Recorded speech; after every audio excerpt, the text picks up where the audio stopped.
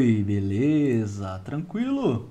Então vamos lá, seja muito bem-vindo a mais um Ciência dos Dados na Prática. Olha aí, que satisfação ter você aqui nesse dia maravilhoso e iniciar a semana aí com um projetinho, né não? Diz aí, achou que não ia ter projeto hoje, né? Ah, cientista de dados, que o que? Eu tô passando aqui agora na sua timeline pra gente fazer hoje um programa muito massa de ciência de dados na área de recursos humanos. Olha que interessante, é mesmo, Eduardo? Então quer dizer que a ciência de dados ela pode atuar junto ali os recursos humanos, Eduardo? Cara, não só pode como deve. As empresas precisam muito de cientistas de dados para construírem soluções com inteligência dos dados, né? com insights que os dados muitas vezes não mostram para essa empresa é, de forma clara. Né? E aí vem o cientista de dados com todo o seu skill, com todo o seu processo de aprendizado e coloca essa parada aí numa aplicação como a que a gente vai ver hoje, que você aí vai guardar para você aprender. É óbvio que eu vou passar aqui num nível de detalhes que eu considero suficiente para você entender, mas se eu fosse contratar, se eu fosse fazer um projeto desse com você, como eu faço com os meus alunos, eu precisaria de muito mais tempo para que você compreendesse cada um dos detalhes. Tranquilo? Então, eu confesso que eu faço o melhor que eu posso nesse tempo que eu tenho, fazer um projeto aqui completinho, juntando aí problema de negócio, exploração dos dados em meia hora, uma hora, galera, é ó, sueira, beleza? Eu preparo essa parada aqui com o maior carinho, aproveita aí. Mas é claro, os meus alunos têm mais detalhes, por quê? Porque eles estão num outro nível de comprometimento, tem mais tempo para estudar, tem lá acesso à plataforma e tem lá um conteúdo um pouco mais detalhado com coisas que eu não consigo trazer aqui para vocês, beleza? Mas vamos lá, dá para você pegar essa parada aí, se liga e vem comigo que eu vou pegar na tua mão, beleza? Olha só, nós vamos resolver um problema hoje, hoje que é de RH Analytics, né, de Human Resource, Human Resources, né, recursos humanos, Analytics na área de recursos humanos. Qual é o nosso tema aqui? É prevendo perda de funcionários. Hum, Eduardo, então quer dizer que tem como a gente prever perda de funcionários importantes nas instituições, Eduardo? Galera, tem sim. E eu acredito que as empresas grandes, elas têm esse tipo de trabalho, porque isso aqui já é uma parada que já está aí na pauta da ciência de dados. Então, as empresas que investem na área de ciência de dados, eu acredito que ela deve rodar trabalhos como esse aqui sim, beleza? Eu fico pensando, né, há pouco tempo eu saí do Banco do Brasil e agora eu fiquei pensando aqui, será que a área de recursos humanos lá rodou uma máquina preditiva que previa que eu ia sair do banco, será? Ah, aqui é perda de funcionário, né? Eu talvez, assim, eu lá de onde eu tava, eu era talvez o o carinha mediano para baixo ali, lá no Banco do Brasil só tem cara fera, ainda mais ali a galera investe bastante ali em conhecimento, tem muito incentivo, então era o carinha ali, o mediano tal, tinha muito cara top. E eu fico pensando, será que a área de recursos, humanos, de recursos humanos lá do Banco do Brasil, que eu trabalhava na diretoria de controles internos, né? Então existe uma, uma, uma área lá específica dentro da, da área de controles internos que faz a avaliação da área de recursos humanos, né? Que é a área de pessoas, que lá dentro do banco é a diretoria de pessoas. E eu fico pensando, será que essa galera que está avaliando tinha é, conhecimento para saber se existia esse tipo de, de, de aplicação lá dentro da diretoria de pessoas, por exemplo? Porque tá aí, né? É uma sacada interessante. Por que, galera? Por que, que isso tudo é importante, né, Eduardo? Primeiro de tudo, por que, que é importante? Fala aí, principalmente empresas que trabalham com alta rotatividade de pessoas, será que é importante ela saber se ela vai ter funcionário ali para elencar uma atividade específica que é imprescindível para a empresa? Cara, é óbvio, né? A empresa quer saber em, em, números, né? Inclusive quantitativamente, quando é que ela pode ali ter uma escassez de funcionário. E isso acontece, galera. O mercadão aí ele é muito amplo. As pessoas têm cada vez mais oportunidades, principalmente você que está aqui comigo, aqui mexendo com ciência de dados. As empresas, né? Estão aí desesperadas atrás de cientista de dados. Por quê? Porque sabe que dados são ali, galera, o ativo mais importante da economia. não falo nem das empresas, não, é da economia. Dados hoje é por isso que as empresas investem muito e há um, uma, uma preocupação muito grande com relação ali ao sigilo da informação. Você vê aí uma época dessa aí, umas empresas é, é, é, ali, tendo ali o, o, a invasão, né? Hackers roubando os dados ali e depois pedindo é, é o pagar o resgate ali em forma de Bitcoin, galera, é uma loucura. Então, as empresas elas têm que ter muito cuidado ali com a segurança dos dados, porque porque a gente consegue ali com as informações tirar ali, galera, tudo que há de mais importante para a estratégia do negócio. E hoje é exatamente isso que a gente vai fazer, tá bom? Vamos utilizar os dados para ajudar ali a área de recursos humanos da empresa, para que ela possa ali prever a saída de funcionários. Para que, Eduardo? Para que ela possa ali estar preparada para uma, é, é, uma evasão de, de, de funcionários, principalmente alguns talentos que são importantes, né? Porque existem ali uma, uma, uma, uma um ciclo lógico ali que é de performance, né? O cara que tá ali, que tá rendendo, ele, ele vai querer mais e mais e mais, e se ele sente uma trava ali, ele vai acabar saindo e procurando uma outra empresa, e a empresa não quer perder esses funcionários, não é mesmo? Então bora pra frente, vamos lá. Nesse projeto, deixa eu ligar aqui. Então vamos lá, nesse projeto nós vamos fazer uma implementação né, de uma análise de rotatividade de funcionários. Isso também tem o um nome de é, turnover, né, turnover de funcionários, que é desenvolvido ali com Python. A gente vai utilizar o Python aqui, é claro, né? Nós vamos utilizar alguns algoritmos aqui, tais como logística, random forest, XBoost também, e no final a gente vai escolher o melhor para futuros problemas ali, né, de resolução ali de rotatividade de funcionários, beleza? Você vai ter ao final desse projeto aqui condições totais de utilizar esse projeto aqui dentro da sua instituição, tudo bem? Então, beleza. Galera, o que é a rotatividade de funcionários? O que é o turnover? É o índice, ou o índice de rotatividade de funcionários, né, que é uma medida do número total de funcionários que deixaram a instituição em determinado ano específico, tá bom? A previsão de rotatividade de funcionários significa prever se o funcionário vai deixar a instituição no próximo período e uma empresa com uma análise preditiva como essa, ela pode saber quantos funcionários serão necessários, né? Como eu falei, principalmente empresas que têm a rotatividade muito alta e se funcionários em potencial têm a chance de sair da empresa, né? Então você está olhando ali e quer fazer um trabalho de retenção de talentos, isso aqui é uma ferramenta essencial, tudo bem? Ela também usa essa análise preditiva para tornar o que, galera? O ambiente de trabalho um lugar melhor para os funcionários. Afinal de contas, você não está querendo escravo ali, você tem colaborador. Inclusive, hoje em dia, a galera está falando muito nesse termo, né? Você tem colaboradores. Você quer fazer a sua empresa funcionar, mas você precisa de pessoas para colaborar em determinadas atividades atividade. Você não quer um escravo. Você não quer colocar o cara lá para fazer simplesmente o que, o que você está mandando. Não, porque senão você perde funcionário rápido. Né? Então você tem que ter um trabalho ali, um, tem que fazer do trabalho um local bacana para funcionar, para você trabalhar. Eu já trouxe aqui em outros casos é, algumas empresas, como Acreditas ali, que é uma empresa, uma fintech, que ela trata muito bem ali os seus funcionários, né? Tem uma área ampla ali para que as pessoas possam é, esparecer, cuidar ali, fazer um jogo ali para esquecer um pouco ali do problema. Depois ele volta ali e rende. Então tem algumas coisas aí que as empresas podem fazer para melhorar o ambiente de trabalho. E aí, galera, com esse projeto, ele vai conseguir identificar as principais razões pela alta rotatividade dos funcionários. Então, Eduardo, você está me dizendo que além da gente prever quais funcionários irão ali evadir, né, sofrer um turnover, ausência ali, eu tô prevendo se o funcionário vai deixar a minha companhia no próximo ano, beleza? E além de saber isso, eu vou saber as principais razões por que essa parada está acontecendo, Eduardo? É isso que você está me dizendo? Exatamente, beleza? Além de saber o cara que vai sair, você vai saber quais são as principais variáveis que estão influenci influenciando nisso. Tranquilo? Bora para frente? Então vamos lá. Tá claro o nosso problema de negócio, né? Nosso problema de negócio é fazer com que esse carinha aqui esteja sempre muito feliz, né? Ele tá triste aqui e você quer deixar ele feliz ali, trabalhando na praia, porque ele tá rendendo melhor na praia. Então o que, que a gente vai fazer? A gente vai construir uma máquina preditiva cujo objetivo é prever o turnover de funcionários das empresas, além de descobrir quais são as variáveis que mais impactam nessa parada. Tudo bem? Beleza? Entendido o problema de negócio? Podemos partir para a próxima etapa, que é conhecer os dados?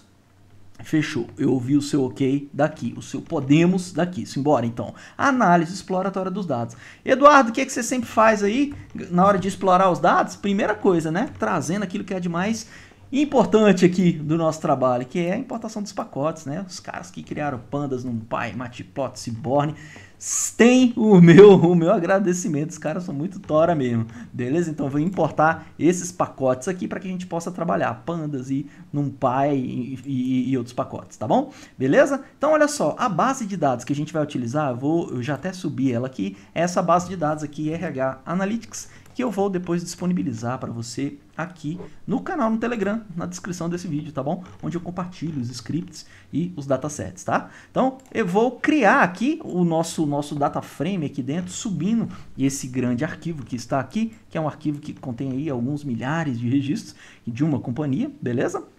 Vamos dar uma olhada inicial agora nesse banco de dados para saber o que, que a gente tem de informação, tranquilo? Então vamos dar uma olhada por cima, mais abaixo a gente vai fazer uma análise exploratória mais bonitinha, tá bom? Então olha só, o que, que a gente tem aqui? Uma variável chamada é, nível de satisfação, beleza? É última avaliação, isso aqui também é importante, você vê que parece todas numéricas, né? Vamos dar uma olhada.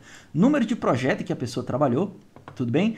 Número de horas aqui que a pessoa trabalhou no, durante um mês, então pensa aí, né? Funcionário, é, eu vou olhar aqui, fazer uma conta de, de, de padeiro aqui, beleza? 30 dias, vou tirar aqui debaixo da câmera, né? 30 dias vezes 8. Se a pessoa trabalha todo dia 8 horas por dia, ela trabalha aqui, galera, 240 horas, né? Então, se eu tirar aí 4 dias, vai, 26 dias, vezes, vezes 8, que a pessoa trabalha 8 horas por dia, dá uma média de 208 horas. Então você vê aqui que tem funcionários que estão trabalhando mais de 8 horas por dia em média, e isso pode ser um indicador, né? O cara acaba estafando por mais que goste do trabalho. Então, realmente, a média de horas trabalhadas no mês, isso vai ser importante aqui, tá bom? Olha aqui, é, o tempo gasto na companhia também, né? Então, isso aqui é, é mais ou menos ali a, o o, a, o tempo que você fica no trabalho, né? Tem gente que trabalha 6, tem gente que trabalha 4, 5, 3, tem gente que trabalha 8, tem gente que trabalha 20. A gente vai olhar exatamente essas horas, essas variáveis aqui para conhecer direitinho, tá bom? Se teve acidente de trabalho, né? A gente vê aqui que pode ser uma variável binária, a gente vai conhecer, deve ser 0 e 1.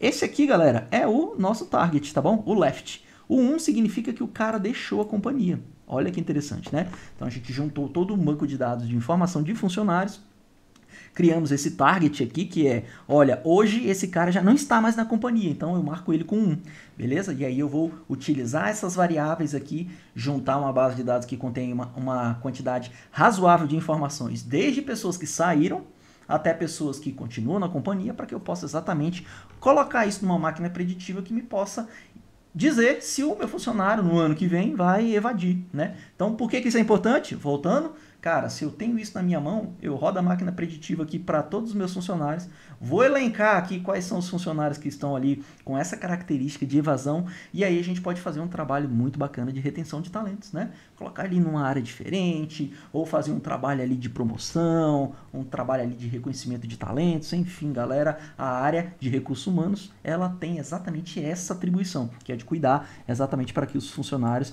se sintam ali como colaboradores, tudo bem? Beleza? Outra variável aqui importante, promo, promoção, né?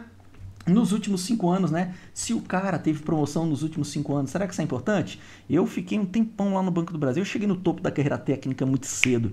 Então acredito que eu fiquei uns 10 anos ali meio que estagnado, galera. É, de verdade. Fiquei num tempo ali no topo da carreira técnica e aí depois não conseguia mais crescer e talvez por isso que eu tenha, né? E talvez esse seja um dos motivos pelo qual eu saí do Banco do Brasil, né? Isso é importante, galera. Isso aqui é um trabalho que eu trago na vera para você. Eu não tô falando da boca para fora não. Inclusive eu vivenciei isso aqui, galera. Eu sei o tanto que isso aqui é importante tá bom? Tem uma coluna chamada vendas aqui, né, galera? a gente talvez faça um tratamento aqui, porque tem vendas aqui no domínio e vendas nos, nos valores dos registros, né? Então a gente vai brincar com esse número aqui. E o salário, é óbvio, né? Por questão de privacidade, a galera fez uma categorização aqui, né? Então, independente aqui de quanto que é, a gente consegue saber se o salário é alto, médio ou baixo. Tem a categoria, tá bom? É, isso aqui, inclusive, dentro da companhia, pode ser feito um trabalho ali na, na no, no, grosso modo, né? Esse, esse dataset aqui é um dataset gratuito que a gente encontra aí na internet. Se eu não me engano, eu peguei do Kaggle e aí a gente consegue, é, dentro da, da companhia, você tem aí acesso ao salário de todos os funcionários, né? Você é da área de recursos humanos. Então você consegue também utilizar aí o salário ali, né, o valor em si, que aí talvez ele pode ser um, uma, uma das, das variáveis bem mais quentes aqui na hora de se prever, beleza? Ao invés de usar ela de forma categórica assim, né? Você pode usar o valor, tá bom? Fica aí a dica, simbora, vamos lá. Bora dar uma olhada aí nos valores, nos nas estatísticas para a gente olhar aí a, a, os limites né, das variáveis. Né? Então aqui a gente já vê ó, o nível de satisfação. Então meio que o máximo é 1 aqui, mas a gente tem valores aqui de 0,64, então é como se fosse um índice mesmo, né? De 0 a 1. Então de 0 a 100%, né? Então aqui tem um valor, né, um percentual, um índice. É, última avaliação, a gente vê também, é igual, né? É como se fosse um índice, vai de 0 a 1. Então tá, foi transformado aqui num percentual, né? Você tá, a maioria dos funcionários aqui, a gente olha, ó, a maioria, né? Metade para baixo tá satisfeito, né? Tá satisfeito. Mas tem um grande pedaço aqui, ó, que até o percentil 25 tá considerando aqui, ó, 0.50. Então, você considera aí que tem 25% dos funcionários ali que consideram a empresa ali, né, não sabe se está muito satisfeito não. Se deu nota de 0 a 5, né? E são 25%, né? Porque a gente está olhando o percentil 25, né? Então, 25% dos funcionários dando nota de 50 para baixo. Então, isso aí é um alerta bem interessante, tá bom? Número de projetos, galera. Então, a gente pegou aqui ó, um banco de dados de um período específico e a gente vê que o máximo de projetos que foi pego por um cidadão aqui foi 7 projetos, né? Quanto que acontece em média, Eduardo? Em média, 3,8 projetos. A mediana tá 4, né? A mediana tá 4. Então a galera tá pegando ali mais ou menos 3 a 4 projetos, tá bom? Mas tem muita gente que pega pouco projeto, né? Se a empresa for orientada a projetos também, né? Tem isso, tá bom? Ah, número de horas trabalhadas. A gente fez a conta lá de se tirar pelo menos o domingo, né? Daria 208 horas. Olha aqui, teve gente trabalhando 310 horas. Olha isso, aí é um outlier. Não sei, mas que louco, né? Olha só, percentil 75 mostrando um valor também que já é muito maior do que aquelas 8 horas semanais lá, né? Então, assim, é um alerta também. Talvez essa galera tá trabalhando aqui muito loucamente, freneticamente, e aí a parada fica meio complexa. É ou não é? O tempo gasto na companhia, né? Então tá aqui, ó, tem gente que trabalha 10 horas, tem gente que trabalha 4 e por aí vai. Tá bom? Você vê que na média as pessoas trabalham ali 3 horas e pouco, então é até interessante, né? Você olha aqui na média o tempo gasto na companhia aqui. É, também tem que ver se esse, essa é a interpretação fidedigna. Talvez eu, tenha tendo, eu esteja tendo até uma interpretação que não seja a, a, a, a, correta, né? De achar que esse tempo gasto na companhia seja o horário de trabalho dele, né? Porque aqui, pelo menos aqui no Brasil, a gente olha a média do trabalhador é 8 horas por dia, né? Aqui tá 3 horas por dia e a mediana 3, então, a não ser que isso aqui seja de uma empresa aí, laboratorial, aquelas empresas que as pessoas têm que trabalhar pouco tempo porque trabalha com radiação, enfim, tem que ver direitinho, tá bom, galera? Se teve acidente de trabalho ou não, pelo visto aqui é 0 ou 1, um, né, galera? Tem muito zero aqui no meio aqui, então, ó, se teve acidente de trabalho é 0 ou 1, um, tá bom? Então, teve acidente de trabalho 1. Um. E é isso mesmo, porque aqui a, o nosso target está dizendo aqui que é 0 ou 1, um, né? Se o cara deixou a companhia, é 1, um, tá bom? E aqui também, né, se foi promovido nos últimos 5 anos. Foi promovido? 1. Um. Não foi? É 0.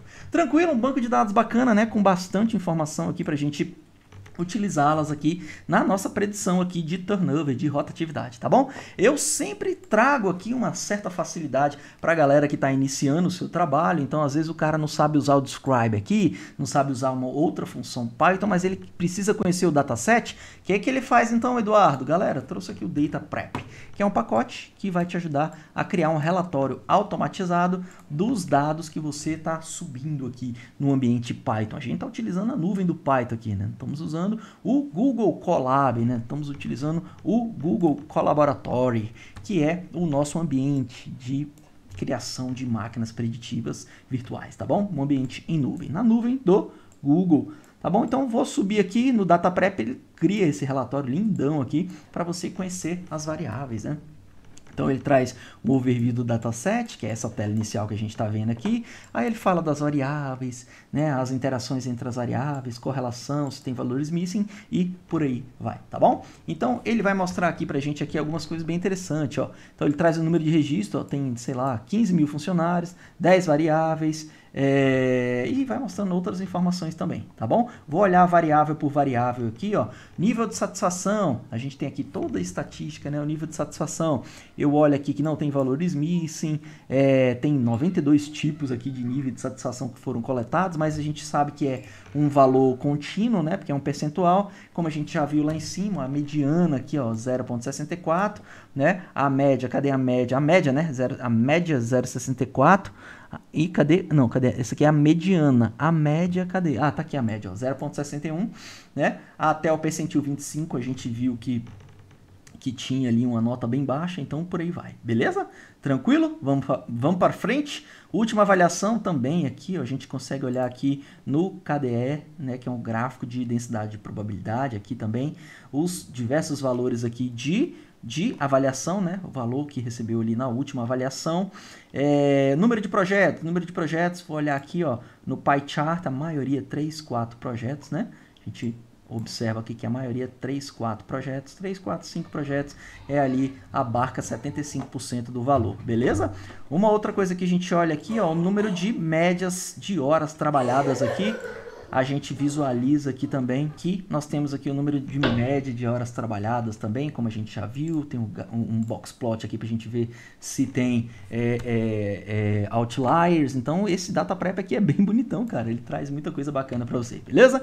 Bora para frente, então terminamos aqui a nossa análise exploratória, é óbvio, eu trago aqui com um tempo um pouco mais escasso para você ter aqui essa familiaridade com os projetos, mas avalia cada variável por variável em detalhes para você conhecer e estar cada vez mais trabalhando com aqui a ciência de dados, tá bom? Aqui a gente inclusive tem a chance de olhar o Word Cloud aqui, né? Então a gente vê que a maioria das pessoas aqui, ó, estão com salário baixo, né, galera? A maioria.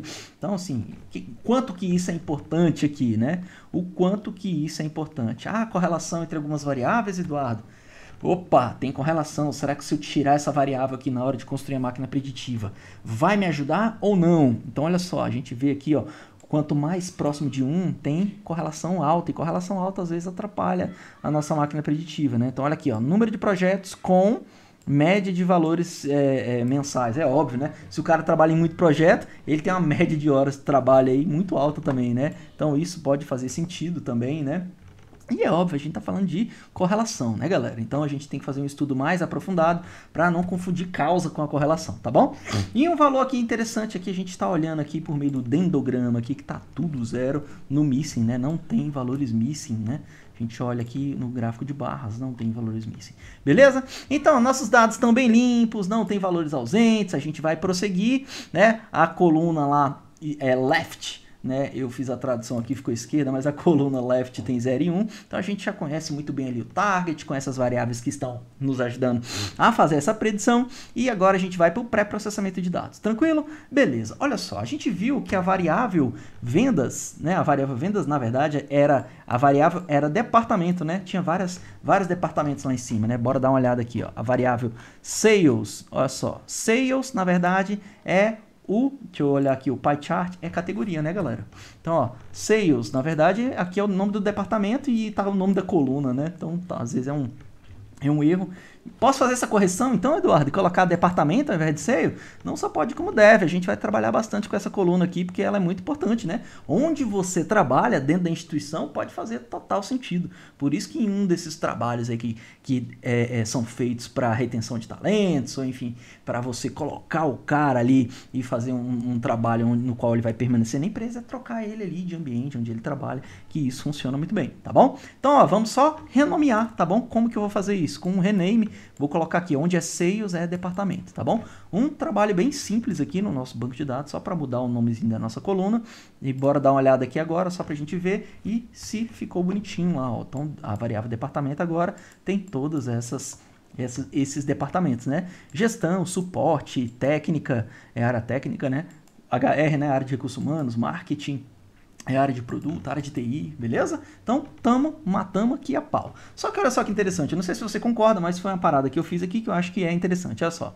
área de suporte, área de TI, é, é, é para mim é tudo área, área técnica, né, galera? Então, bora, bora trocar o nome disso aqui, bora, bora dizer aqui, ó, quando for suporte, quando for TI, a gente chama de área técnica, tá bom? Então, é isso que a gente está fazendo aqui, ó. Vou utilizar o NumPy, se você é meu aluno do SAS lá, esse aqui é um case when, tá bom? Então, ó, vou usar o NumPy. Quando lá no departamento eu tiver suporte, eu quero que coloque técnica, tá bom? Ou na outra linha aqui de baixo, quando for TI, IT, coloca técnica também. Então a área técnica vai se chamar área técnica, tá bom? Beleza? Então vamos lá. Eu vou simplesmente fazer esse trabalho aqui pra gente e a gente precisa ter inteligência na criação das nossas variáveis para construir uma máquina bacana, não é? Então quanto mais conhecimento você tem da empresa, mais chance você tem de encontrar variáveis que vão te ajudar ali a fazer uma discriminação bem interessante. Então o que eu estou fazendo aqui é, cara, área de suporte, área de TI para mim é tudo área técnica. Então eu vou colocar num numa parada só, porque depois eu vou fazer um negócio bem interessante com elas. Vou transformar isso aqui em variável, você vai ver. Tô fazendo antecipação aqui que você vai gostar, tá bom?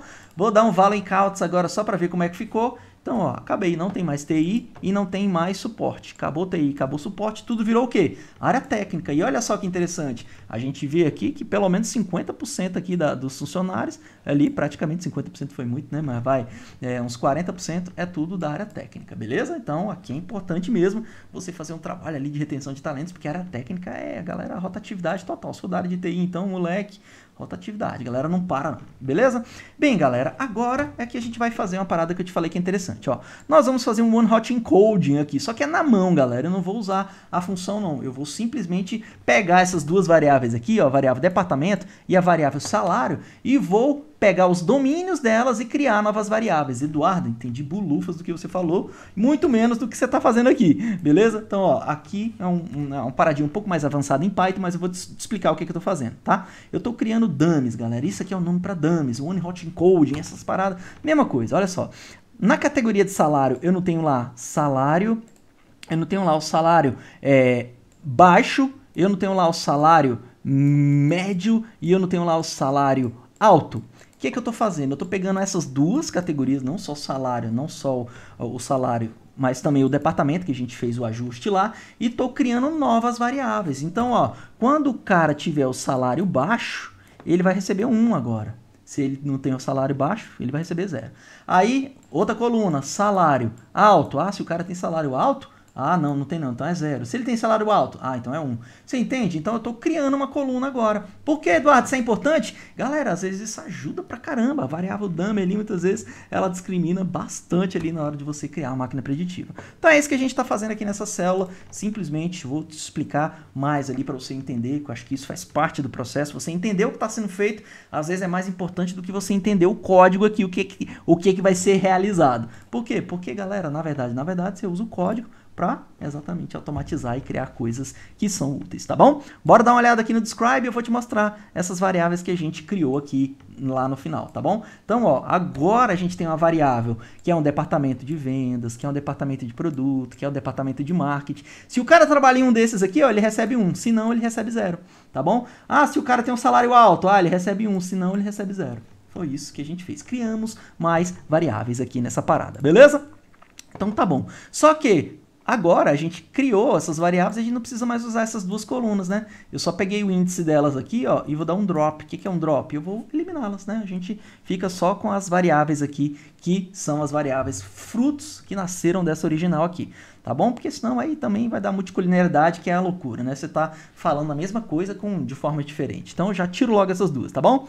Beleza? Agora o que, que eu vou fazer? Separar o target, né? O target é o Y, e as variáveis explicativas eu estou utilizando um loop for aqui, simplesmente para jogar todas dentro dela, tá bom? Então, estão aqui, galera. Bora contar? Ó, tem uma, duas, três, quatro, cinco, seis, sete, oito, nove, dez, onze, doze, treze, 14, 15, 16, 17, 18 variáveis explicativas. Hum, Eduardo, imagina aí se eu fizer essa parada na mão aí e passar todas essas variáveis aí. Meu irmão, quando eu tiver passando esse negócio lá para a galera de produção, para criar um ambiente ali de desenvolvimento, né, para a galera do ML Ops ali, os caras vão tirar o meu cabelo. Por quê? Porque vão falar, pô, Eduardo, para fazer o ETL dessa parada aqui, não, para questão de variável aqui, não. E galera, isso é um trabalho, é um trabalhinho, já trabalhei em muitos projetos assim de especificação de variáveis assim que, cara, os caras tinham que criar árvore de decisão na mão lá no no, no, no COBOL, galera. E aí os caras ficavam malucos. Então isso aqui a gente vai simplesmente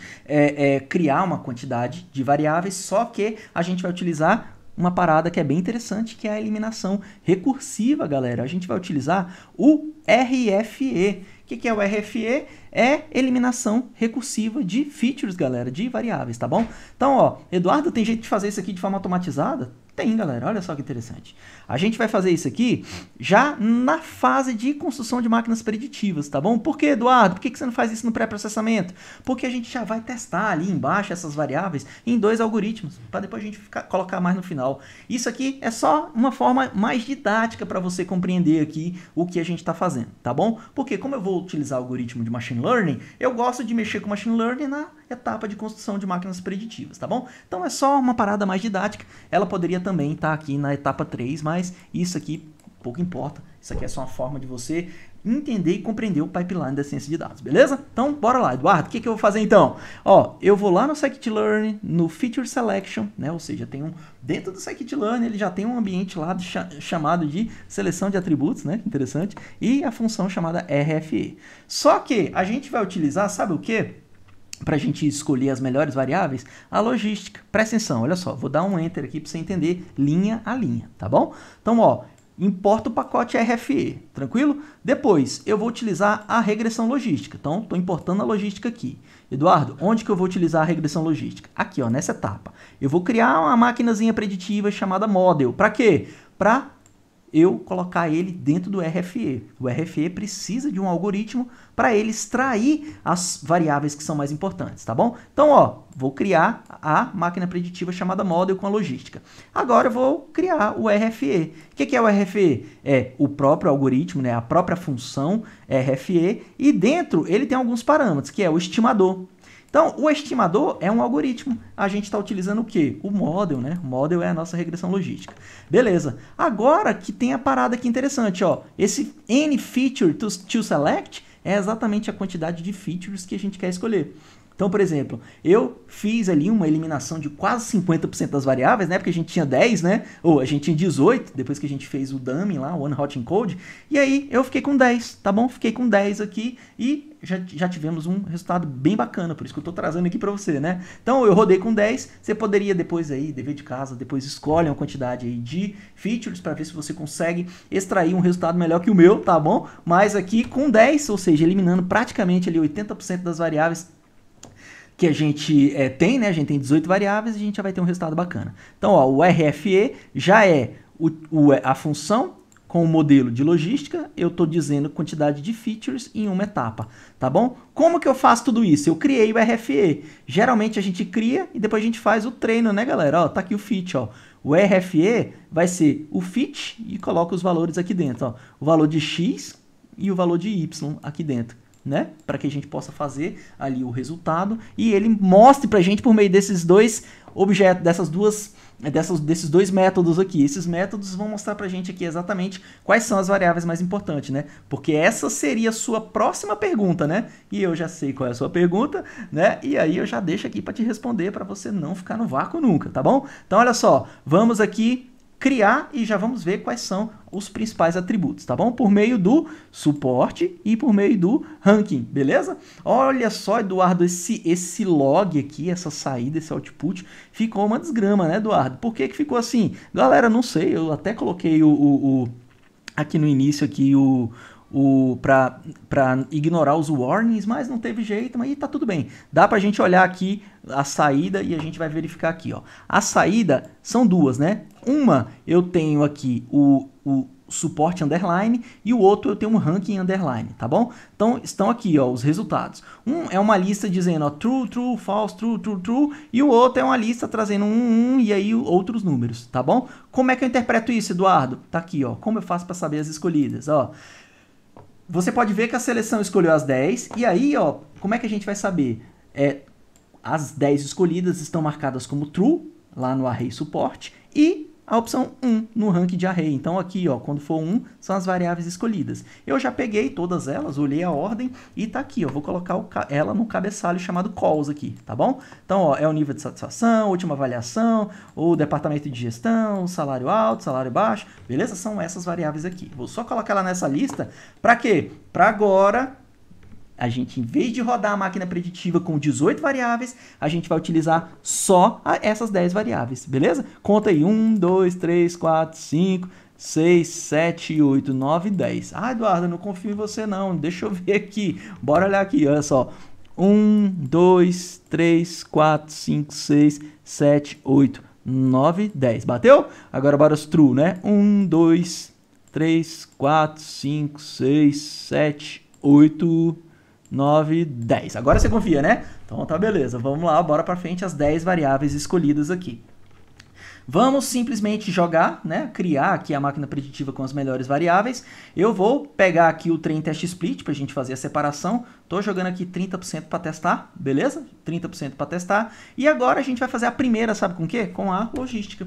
É, vamos criar a nossa máquina preditiva com a logística que já nos ajudou ali com as 10 melhores, né? Então o que, que eu estou fazendo aqui? É como se o baseline tivesse essas 18 variáveis e agora eu vou fazer uma melhor com as 10 melhores variáveis. E tá tudo bem, mas também é uma forma de você criar ali, tá bom? Bora olhar a nossa acurácia com a logística? Então, tem aqui a nossa acurácia com a logística, é 77%, nada mal, né, galera? Então, criamos aí uma máquina preditiva cuja assertividade aqui medida por meio da acurácia é 77%.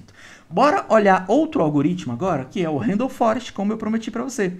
Vou utilizar o Randall Forest e ver quanto que a gente vai tirar aqui de acurácia também, né? Comparar banana com banana, né? E olha que louco, galera. A acurácia aqui foi 97.8 com Randall Forest. Beleza? Mas a gente pode ir além. Olha que interessante. Eu vou utilizar o XGBoost. Então eu vou trazer o XGBoost Classify, vou ainda colocar alguns hiperparâmetros aqui e bora ver o resultado para ver o que, que vai acontecer. Ó, criei o XGBoost, ele vai demorar um pouquinho porque eu mandei ele criar logo 5 mil árvores, né? Nesse Random Forest aqui, ó, foi utilizado, se não me engano, 100 árvores, né? Que é o default, né? A gente não mexeu nos hiperparâmetros do Random Forest. A gente simplesmente jogou aqui com os hiperparâmetros default. É, a taxa de aprendizagem, que é a learning rating, a profundidade máxima que ele desce nos galhos das árvores lá para criar as variáveis, a quantidade de árvores, né, que são esses três. É, é claro, galera, que não tenho tempo de trazer aqui o detalhamento de todos os hiperparâmetros, tá bom? Isso é inclusive uma parada que eu faço muito com todos os meus alunos.